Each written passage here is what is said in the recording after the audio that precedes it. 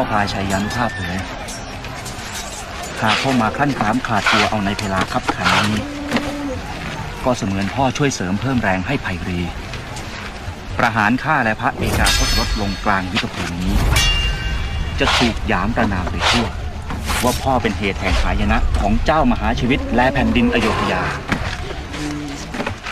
มาเถิดพ่อพลายชัยยานุภาพ จงหักความกลัวด้วยความกล้า เร่งบุกเข้าชิงชนนำชัยมาให้ข้าและชาวสยามทั้งผองเถิด